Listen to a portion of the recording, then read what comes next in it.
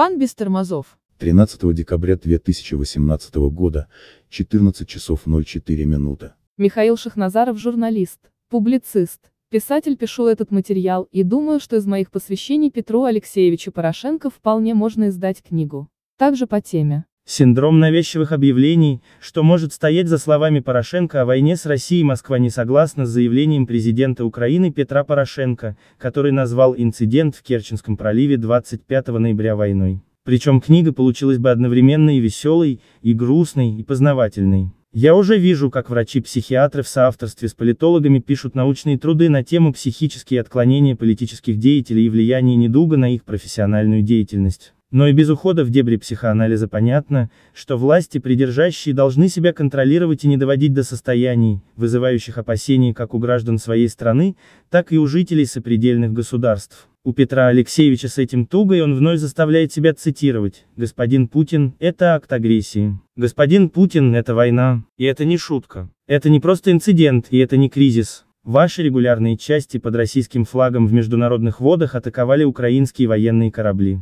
Вот с таким пассажем выступил в эфире канала Fox News. Президент Украины. Нет, я все понимаю. Стоит Петру Алексеевичу увидеть перед собой американского журналиста, как он тут же превышает свою значимость для Украины и мира в целом намного выше допустимой нормы. И это интервью не стало исключением. Видимо, позабыв о том, что есть слова, отношение к которым должно быть трепетным и бережным, пан Порошенко вошел в раж, и его понесло. А представляете, каково было самим украинцам? В стране объявлено военное положение, а глава государства адресно заявляет президенту России, что это война и акт агрессии. То есть пан Порошенко продолжает верить в мантру про украинский Крым, которую так любят повторять его соратники, сподвижники, хозяева и просто сочувствующие. Про хозяев понятно. Это люди расчетливые, лицемерные, и для них это игра, и игра с очень большими ставками. Си, сочувствующими тоже все предельно ясно. Правило хорошего тона, попытка делать сносную мину при плохой игре, задел на будущее. Но вы-то с соратниками, Петр Алексеевич, должны понимать, что акт агрессии имел место именно с вашей стороны и тому есть неопровержимые доказательства, опровергать кое по меньшей мере глупо. Тем более для государственного чиновника такого уровня. Или ваша ставка не сыграла и не сработал циничный сценарий. Вернее их было два. Вариант первый. Ваши корабли спокойно бороздят воды Черного и Азовского морей, российская сторона ограничивается предупреждениями, а на следующий день Петр Алексеевич заявляет о полной победе над врагом и скором возврате не только контроля над территориальными водами, но и Крыма в целом. Слышатся одобрительные речи хозяев и здравицы от народа. Вариант номер два. Более кровавый и абсолютно непредсказуемый. Украинская армада пересекает границу Российской Федерации, не реагирует на предупреждения российских пограничников и уничтожается шквальным огнем. Господин Порошенко экстренно созывает генералитет, повышает кровяное давление и просит страны блока НАТО незамедлительно вмешаться в обострившуюся ситуацию и направить на агрессора всю свою военную мощь.